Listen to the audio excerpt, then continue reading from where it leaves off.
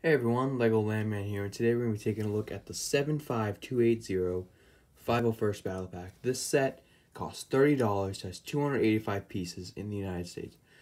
With that out of the way, let's go take a look at the Here is the 501st Legion Clone Trooper. This minifigure has been a long time coming. I mean, we we waited seven years for another one of these figures. Uh, this figure has really nice, I, I really like the lighter blue compared to the, the darker blue on the older 501st Trooper. Uh, I unfortunately sold mine, so I don't have that anymore. But uh, this minifigure is really, really neat. Um, I actually like the fact that it doesn't have any waist printing. I think that's really cool. Um, I like that it's white right here. That's, um, you know, uh, that that's good. We could have used some blue arm printing, I think. If they if they were going to go all out on the set and really, really make it shine, some arm printing would have been nice. I would have really liked to see that. Um, on the back, he's got just a, st a standard, you know, clone trooper back print, nothing special.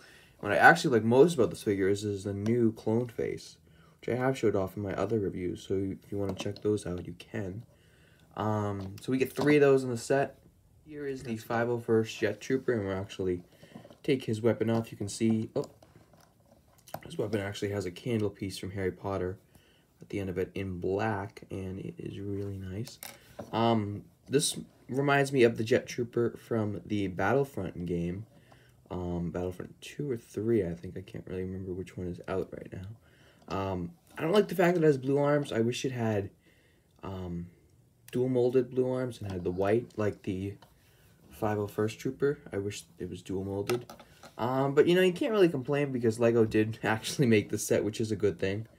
Um, again, same face, and the blue jetpack. It's really nice, and I will take that off to show you the back torso print. That's the back torso print. Not much different from the 501st Trooper other than the little blue markings right Here is there. the Battle Droid, and yes, this is still the same Battle Droid they've been using since 2007. Uh, you can see it's just a typical battle. You get two of those in this set. Uh, nothing special, really. Um, I don't like the fact that they included battle. I wish this was still a $15 battle pack. It would be more affordable that way, and you could double the, the amount of sets you get. But, um, you know, it's nice to increase your droid army, especially with no battle packs coming in January 2021. Um, so, you know, it's always nice to get a couple battle droids. And, um, this set is definitely one for the minifigures that you will probably, most likely, pick up multiples of. But let's take a look at Here the build. is the BARC speeder of this set, and I gotta say, this is really, really a cool BARC speeder. Um, I don't know, though, if this was a $15 battle pack, what vehicle I'd want more. I want to say the BARC speeder because it's just more of a sleek design, I think. Um, uses a lot of stickers. This whole piece right here has three stickers on it. Um, you can attach some weapons here. I guess these can be spare weapons for your clone troopers. Um, it, it sits really nicely. It, you know, you can... I wish it had some studs on the bottom, though, like the inverted tiles, clear inverted tiles, because BARC speeders don't really go on the ground like that. They kind of hover. So I wish it had that. Stud shooters, obviously, you all know how those work by now. Um, I like this design right here because it kind of has the clip coming out and then the brick inside. It's really cool.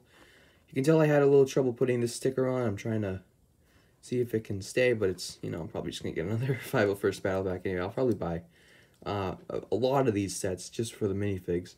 Um, yeah, I, I really like this design of the speeder. Obviously, it can hold your trooper really nice, and these handlebars, and the seat is really, really nice, and it's, it's trooper sits down really well, and I think that, you know, he, uh, he really fits on there nice and it's really a sleek design that a lot of people will like. The AT-RT now, my biggest gripe with this build uh, is the stud shooter on top. I don't like the stud shooter. I wish it was a cannon, a little longer cannon, kind of like the one on the AAT, but not, obviously not as long. And uh, I don't know. I, I, don't know about this one. Uh, the feet move. You can move the legs, the joints, the feet, uh, the toes. All this moves up and down. Uh, this right here is really nice. It's I love how it doesn't fall off easily like the 2019 Clone Scout Walker. Got a printed piece right there, and what I really like is that this Clone Trooper, when you pull him off, he won't pull the handlebar off because the handlebar is stuck in there. It's built it's built in there, and I really like that. Um, I really like how it's only using two studs, so the legs won't fall off and get stuck or whatever. Uh, a lot of stickers, however. There's one right here. Oh, two right here. And one on either side. Um, I think there's one more. I don't know. But uh, this is a place to put a weapon weapon on the back or another weapon, but I put some binoculars there. Yeah, this is a really nice ATRT. Um, definitely worth the $30.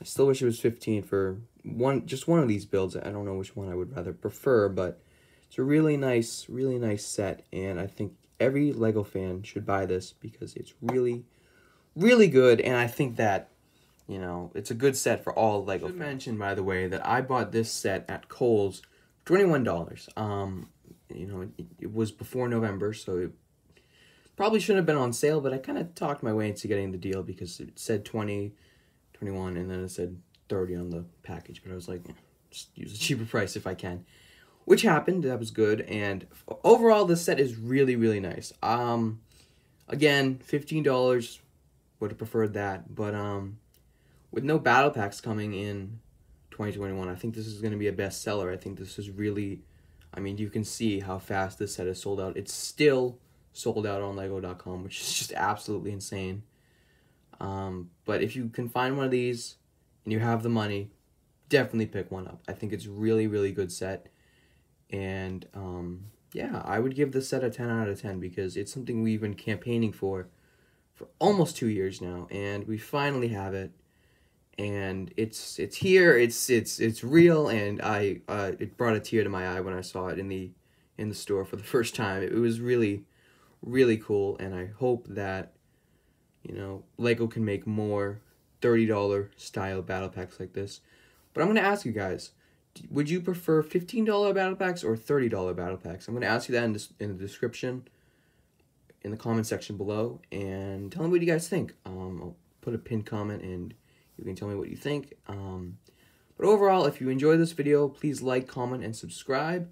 Give this video a thumbs up, and I will see you all later. Bye for now.